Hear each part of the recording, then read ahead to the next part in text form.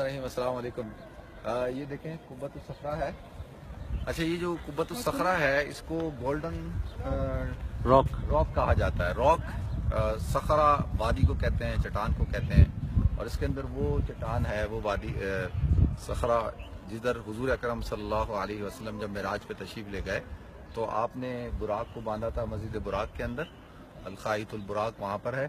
फिर वहाँ से आप तशरीफ़ लाए।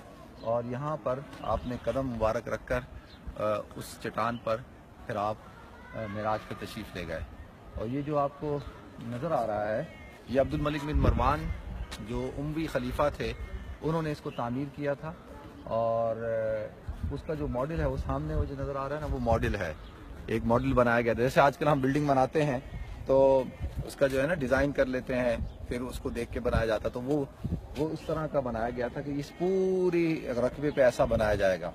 तो वो पैसे की कमी की वजह से वैसे छोटा सा बनाया गया और ये जो गोल्डन नज़र आ रहा है, पहले गोल्डन नहीं था, इसको शाह हुसैन जो जॉर्डन के जो किंग थे, जो किंग अब्दुल्ला के वालिद थे, उन्होंने तकरीबन 200 किलो सोना इस पर चढ़ाया और उसके बाद से ये गोल्डन रॉक के नाम से मशहूर हो गया, लेकिन इसको कुब्बत सखरा कहा जाता है और मैं अंदर से भी आपको दिखाता हूँ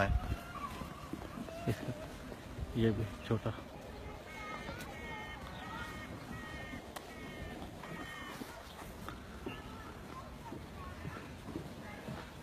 ऐसा? हाँ।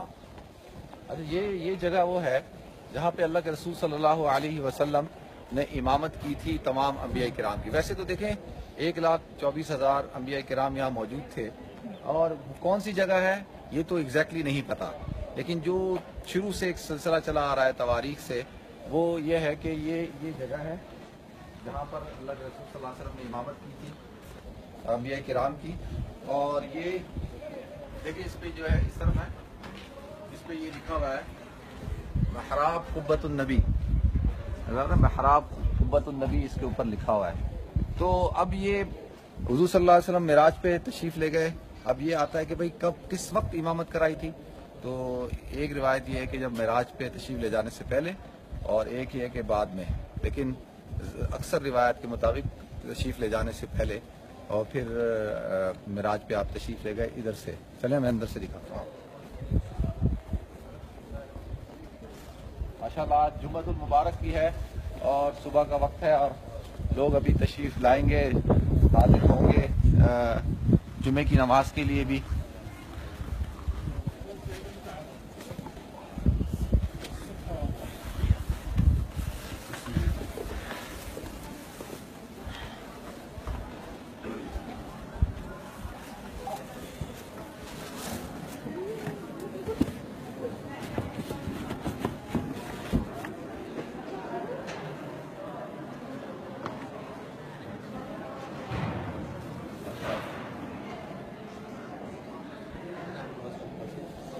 ये अंदरूनी मंजर है कुबत सफ़ा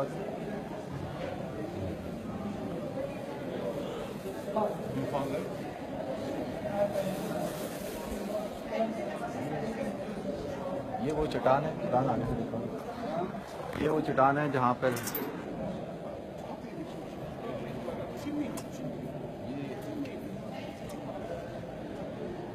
ये चट्टान है। ये ये ऊपर का हिस्सा है। और इनशाला अंदर हम जब गार में जाएँगे तो नीचे का हिस्सा भी दिखाऊँगा तो इसको उन्होंने हाथ लगाने के लिए एक जगह बनाई भी है क्या आप उसको हाथ लगा सकते हैं चट्टान को। तो अब ये जो जगह है, जिधर इन्होंने एक जगह बनाई हुई है, मैं भी हाथ लगाता हूँ। तो बाद उसमें आता है कि हजूर अक्रम सल्लल्लाहु अलैहि वसल्लम के कदम मुबारक जो है, वो इस जगह पे रखे थे आपने। तो इसलिए इन्होंने ये एक बना दिया है ताकि हाथ लगा सकें। अभी इंशाल्लाह अभी बिस्मिल्लाह तो ये सिर्फ़ इसलिए कि ताकि बरकत हासिल हो जाए। ये देखें ये पूरी चटान है ये ऊपर। तो ये जो जगह थी इस जगह से हजूर वसल्लम ने कदम मुबारक रखे थे। तो ये सुराख भी हो गया उसके अंदर।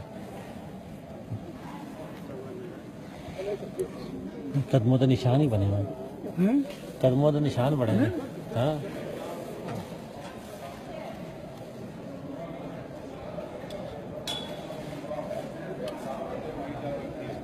Assalamualaikum. I'll follow you. Yeah, yeah. मैं आपको अभी नीचे जो केव्स है जो बहुत सारे लोगों के दरमियान मशहूर है ना कि जी ये मुअल्लक है तो मुअल्लक नहीं है ये इस तरह से है ये देखें वो ऊपर का हिस्सा है और ये नीचे का हिस्सा है अभी रश बहुत है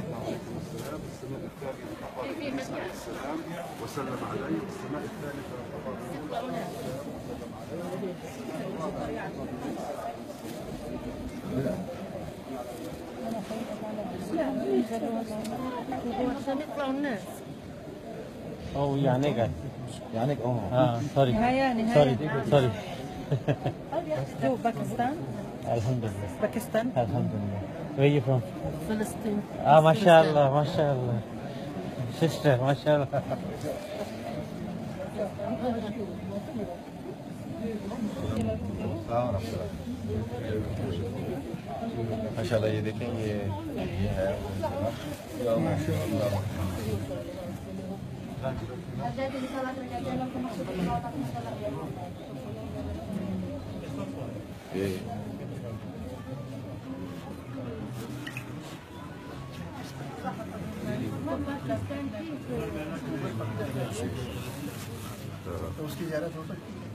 ऊपर यही पत्थर यही है ना, यही ऊपर है ना?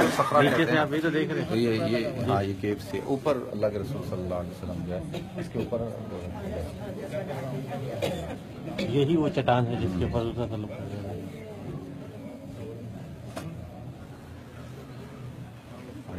आ जाए चल।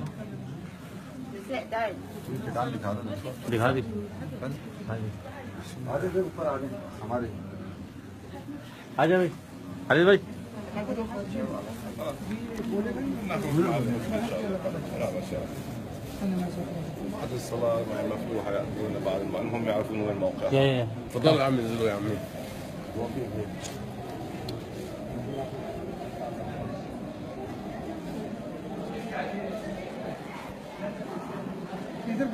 इस जगह पे तीन महराब है महराब दाऊदी महराब सुलेमानी और महराब हुजूर अकरम सल्लल्लाहु अलैहि वसल्लम इस तरह से तो इसको तीन हिस्सों में। तो बड़ा, माशाल्लाह, आप देखें, बहुत ही खूबसूरत।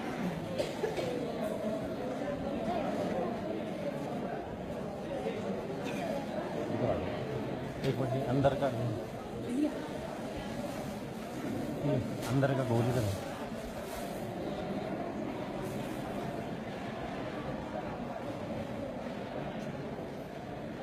माशाल्लाह। ये अंदर का हिस्सा है देखें ये कुब्बत सखरा जो है ना उसके ऊपर का हिस्सा है अंदर का। गुंबद पे है ना जो?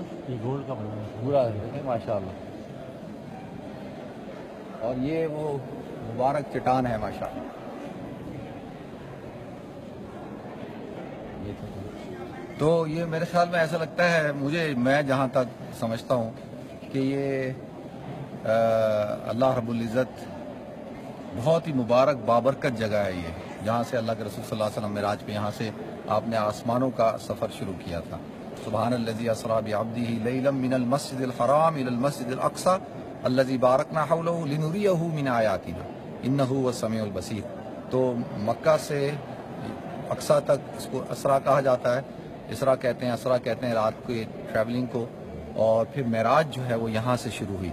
और फिर आप सातों आसमान का सफ़र करते हुए आप सिदरतुल मुंतहा तक पहुँचे। और फिर सुम्मदना फ़तदल्ला फ़कान काव कौसैनी अवदना फ़ौहा इला अब्दी माऊहा वाला मकाम। अल्लाह रब्बुल इज़्ज़त ने उनको अता फरमाया। तो एक मकाम पर तो हज़रत जब्राइल ने सिदरतुल मुंतहा पे कहा यार या रसूलल्लाह इससे आगे आप जाएँगे। अगर मैंने इससे आगे अ, अपना एक पर भी रखा तो मैं मेरे पर मैं जल के खाकस्तर हो जाऊँगा। तो उससे आगे का सफ़र अल्लाह के रसूल सल्लल्लाहु अलैहि वसल्लम ने अकेले किया। तो जुमतुल मुबारक है। और अल्लाह ताला से दुआ है, अल्लाह मेरी हाज़िरी को मैं बार बार इस जगह आता हूँ। माशाल्लाह मेरा ये चौथा सफ़र है। अल्लाह ताला से दुआ है, अल्लाह मुझे बार बार यहाँ पर लाए और मैं आप हजरात को यहाँ की ज़्यारत कराऊँ। और जो हजरात आ सकते हैं उनको ज़रूर आना चाहिए। बहुत ही मुबारक और रूहानी जगह है माशा अल्लाह वरहमल